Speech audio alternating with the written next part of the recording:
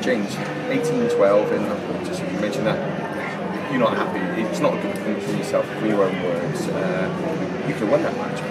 Um, I could have won it if I'd have turned up. Um, I think if I'd have turned up, it'd been quite comfortable. But you know, it's buts, good shits, maybe. We've all been there, haven't we? Certainly. Um, you know, I rolled over and I let him tickle my belly.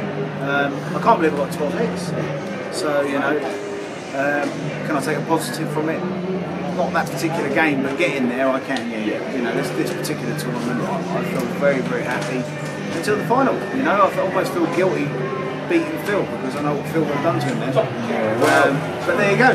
Well, the thing is, James, I mean, you mentioned before, fantastic record here at Blackpool. So in a couple of weeks' time, you look back at this and think, hey, that wasn't too bad. Hey, the performance in the final, not ideal. It's still a good tournament for you. Did you, will you look back at it like that? Oh, Honestly? would I look back like that?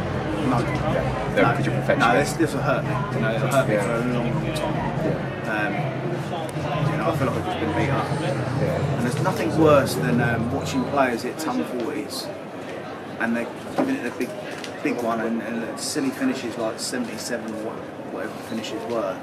And it, it just hurt every single time it hurt, and it hurt more than it normally would have done if I would have been there with him. But as I say, you know, he, he, Michael had a job to do in the final, and he did it. You know, and he did it comfortably. Um, I repeat myself.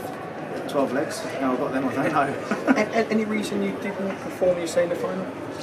I don't know. I really don't know. You know, I, I went through the whole ritual. You know, when, when I struggle, I go off stage a different way. I, I put my foot on the end of the bar. I did, I did everything. Yeah, yeah. You know, and the more I did, the se- the worse it seemed to get. You know, I changed my flights, yeah. and then I hit a 180. I thought that That's was it. it. It was bad luck flights. That's Yeah. that's what it was. And then 41, 26, 60, 45. Um, just wasn't good enough. You know, and sometimes you just got to hold your hands up and say it wasn't there. Yeah, like- I said, people out there, they're on your side actually. They They- were, they and were. it was such a such a uh, breath of fresh air for me. You know, it was so so nice. I just feel a little bit disappointed for them, you know, because as I say, they were all behind me. Yeah. Um, probably one of the first times in my career where I've had a crowd 100% behind me, um, and I didn't reward them. So I have to keep going. Yeah, well, let's say commiserations on the season, but I think it was a great tournament. Yeah, Thank you. cheers. Thank you very much. Cheers. Cheers. Cheers. Yeah, good bastard. Cheers.